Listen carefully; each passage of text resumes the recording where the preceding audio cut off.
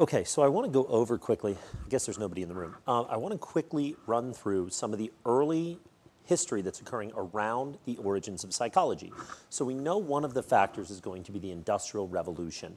So uh, if you're not that aware of it, we're talking about urbanization occurring. So people are moving into cities for one of the first times in human history on a large scale. So that's going to have an impact, right, on social classes, on population density, on demographics. Uh, it's going to alter human interactions.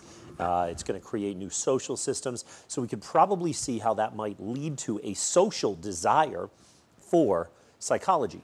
Now, there's other factors involved in this, right? There's a lot of social class change. If you think about people who are working in factories, if you read into this uh, field of study at all, uh, maybe about their feeling about life, going from being people who at some point, maybe their grandfather, someone was related to farming communities, and now massive urbanization is creating a change in what a human life looks like, what a human lifespan looks like, and what it means to be a human, maybe what makes you fulfilled as a person. So we're going to have massive shifts there.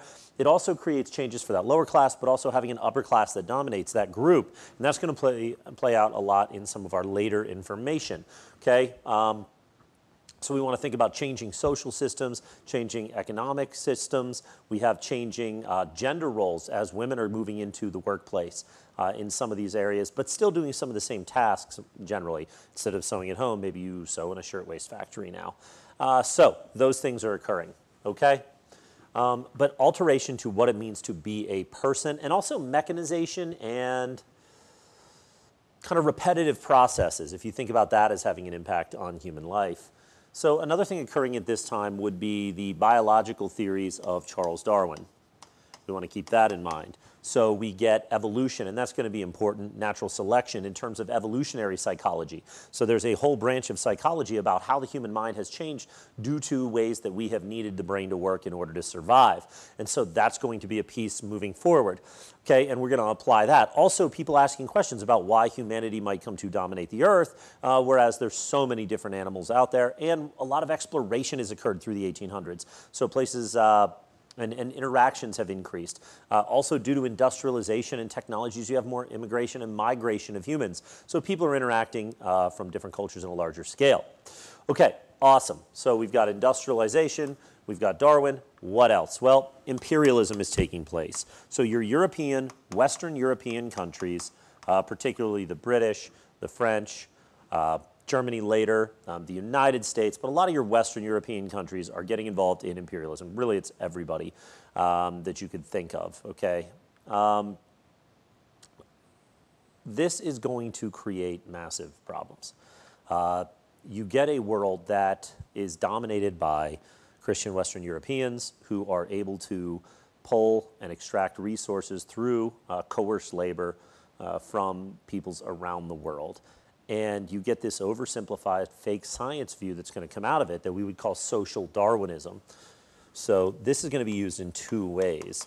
We'll have a social Darwinism that explains that, oh, well, if I'm a factory owner and I'm wealthy uh, over in this area, then I'm going to use that to justify why you, as the factory employer, employee, should listen to me. But we'll also see it applied on a global and international scale in that white uh, Europeans, will look out at people of color around the world and they will try to use social Darwinism to explain through fake science that somehow they have a superiority to other people around the world. And imperialism is happening globally, okay? By 1820, we have the British in India.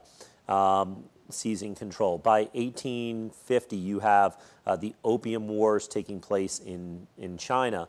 And if you want to see something horrendous that has long-term political ramifications, go look those up and the unequal treaties that took place afterwards uh, and examine the impacts those had.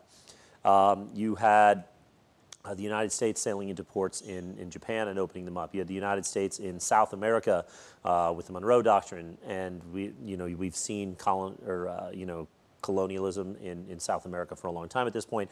And then by 1885, you're getting into um, the Berlin Conference and then the scramble for Africa in the early 20th century. So really, imperialism is taking place on a global scale to people. And so consider all of these happening around psychology when early psychologists start to write, speak, and think.